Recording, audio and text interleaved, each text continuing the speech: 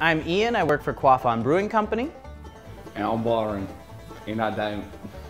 And today we're talking about the Strawberry Blonde Ale.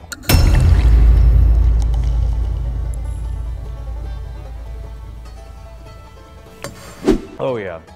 Uh, so this is Quaff On Brewing Company's Strawberry Blonde Ale. And the wonderful thing about this is that we take our blonde ale and we, um, once it's fermented, we place a fresh strawberry puree into the fermenter and it ages with that to give the beer a fresh picked strawberry taste. What do you think? It's crisp, it's fresh, and it's sweet. It is crisp, fresh, and sweet. Uh, and at 4.5% ABV, it's easy to drink all day long, all summer long. I like it. Drink it.